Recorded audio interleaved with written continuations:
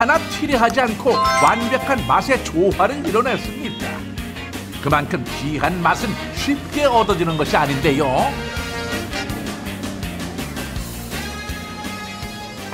한, 사, 삼, 사, 한 40년 이상 됐을 거예요. 어머니 오래, 오래 줬어요. 예. 그러다 지금은 아드님이 하고 계시죠.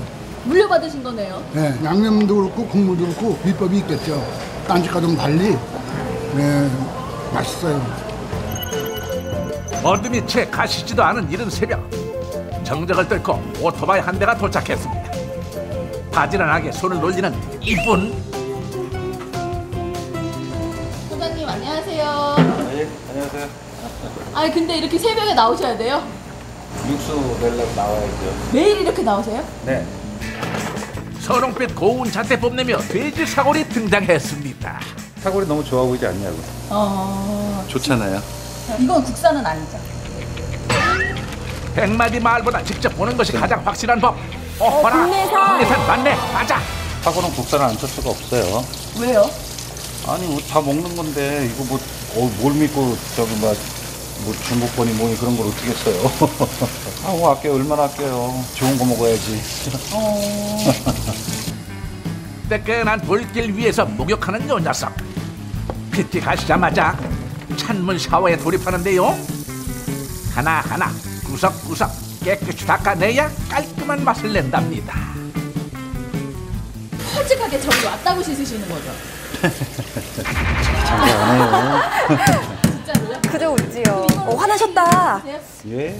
하나하나씩이요? 아 그럼 이렇게 닦아야지 어떻게 닦아요? 나쁜 것은 일체 넣지 않습니다.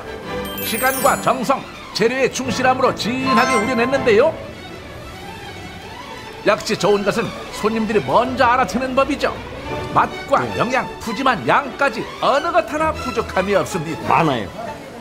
상당히 많아요. 저렴하면 얼마 없을 것 같은데? 아니, 상당히 많아요. 그러니까 손님이 많은 거죠, 여기.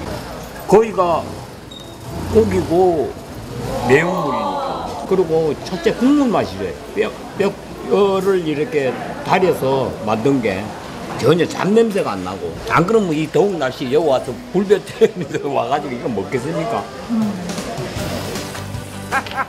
한여름 불볕 더위도 무색한데요. 땀은 흐를지언정 속은 개운해지는 맛의 역설. 고소하고 담백하고 그냥 국물이 찡하네 국물이 맛있네 몸에 국물이 구수해요. 외형만 부들부들하게 해가지고 하는 거다가 이렇게 구수하게 해서 아주 감질나게 하는 것이 그것이 훨씬 더 좋은 집이에요. 겉 모양보다는 음식의 맛이 그렇죠. 내실이 좋죠. 맞아요. 실속이 있어야지요. 양두둑한 손님들을 위한 이 집의 서비스인데요.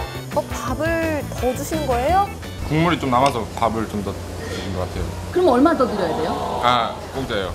공짜? 네, 어, 공깃밥 추가인데? 밥은 그냥 막 주세요? 네. 고기와 육수까지 아낌없이 담아준답니다. 이 집 인심 한번 끝내주네요. 다시 한 그릇 뗐어요. 솔직히 저희 왔다 넣어 주시는 거죠? 아니요. 항상 아니요? 밥만 넣어 주시는 게 아니라 진짜 이렇게 건더기도 넣어 주세요? 건더기랑 국물 다 우와. 진짜로요? 예. 돈 안 받고? 똑같이 한 그릇 값만 받으시는 거죠. 아닐 것 같은데. 항상 그렇게 먹어왔어요. 10년 넘게 먹었어요. 어느새 손님들 이마엔 감동의 땀방울이 송골송골 맺혔는데요. 이쯤 되면은 슬슬 걱정되는 한 가지. 이렇게 다 주고 나면 남는 게 있어요? 그러니까요. 겨우 인건비 뜯어, 뜯어먹는 거야. 솔직히 뜯어먹는 거야, 진짜. 그런데 될 수 있으면 안 올려야지. 싸게 팔면 많이 팔잖아. 그래서 좀 조금 벌고 좀 베푸는 힘으로 욕심을 버리고 이웃의 정을 얻었습니다. 식자재를 저렴하게 구입할 수 있는 것도 착한 가격의 비결인데요. 바로 앞이네요. 예. 그래 좋아요. 좀 저렴하게 해주세요, 이웃이랑. 많이 저렴하게 해줘요. 다른 데보다. 시장 내 위치에 가게세가 저렴하고 손님 확보가 가능한 건데요. 또한 손발이 척척 맞는 마음 맞는 가족들이 함께 일하며 인건비를 절약할 수 있었습니다. 우리 아들 우리 며느리. 알바하는데 일당도 안 줘.